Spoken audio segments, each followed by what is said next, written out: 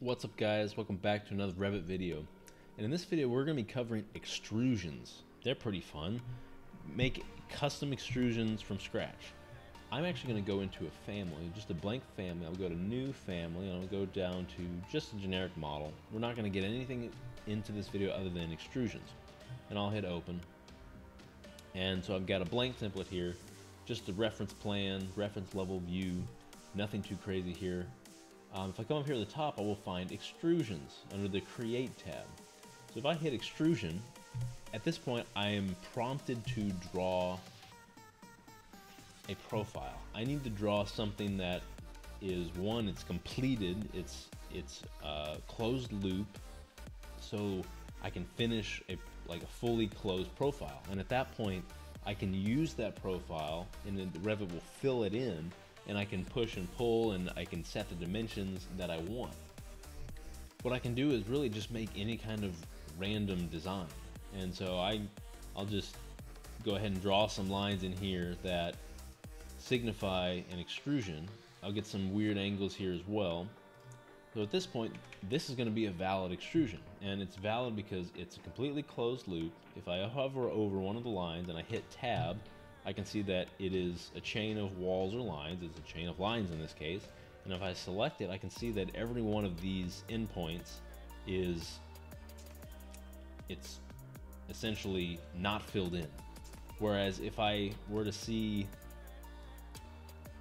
something like this, where I have a, a, a disconnection, I would, see, and I hover over them and select them all, I would see that these points are filled in versus these are not. If you see filled in points, that means that they're not connected to a chain, they're not closed, they're not connected, they're just floating in points. Whereas these are actually connected. So we want to make sure that we see all of those and know that it's a chain. It's a long-winded way of saying we it has to be a closed loop or I'd get an error. At this point, I can hit the red uh, green check mark and I'm done with my extrusion. At this point, I can even begin to still push and pull these different points and these different faces rather, and change the extrusion itself. And if I go back into it after having adjusted these, I can see that my extrusion has also been updated. So it, they're, they're kind of interchangeable wherever you edit them. At this point, you need to determine your pushing and pulling of the extrusion. And that's found in the constraints over here. I've got my extrusion start and end points. Something to be aware of is that everything in Revit is based on work planes.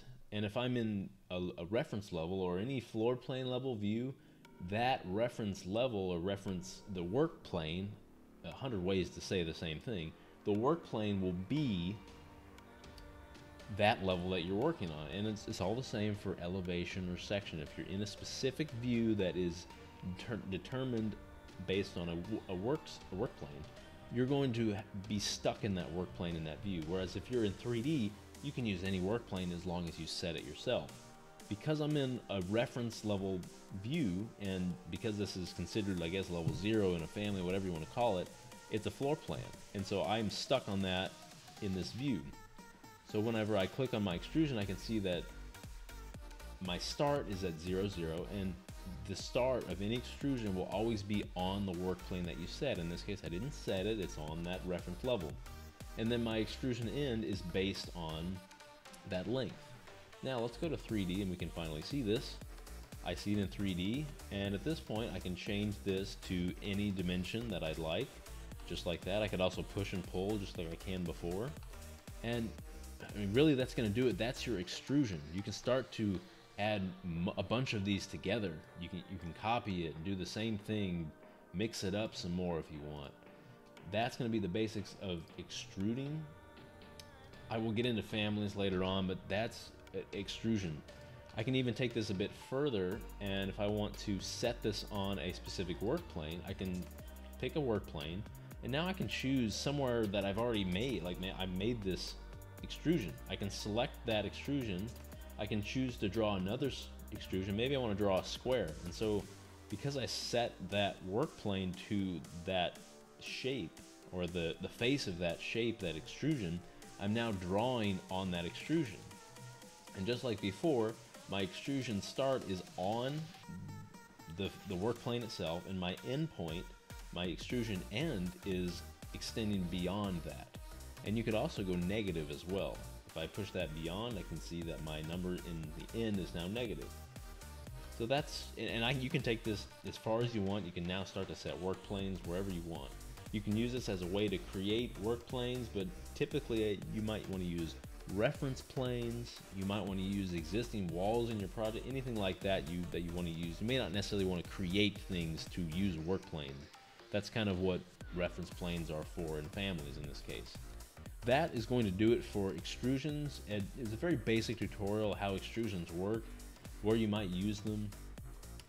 You can use them for roofs, ceilings, whatever, and because I'm in a generic model, this can turn into anything.